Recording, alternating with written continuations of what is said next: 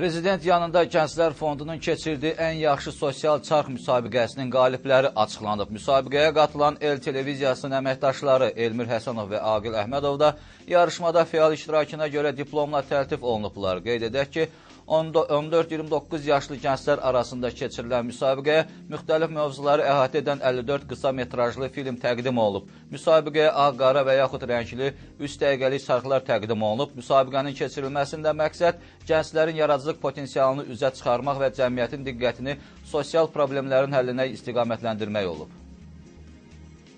Bu gənclərə xüsusi təbrik ona görə düşür ki, məhz qeyri-kommersiya layihəsinə üstünlük veriblər və özlərini sınayıblar, öz yaradıcı dünyalarını məhz cəmiyyətdə olan, cəmiyyəti düşündürən problemlərə yönəldə biliblər.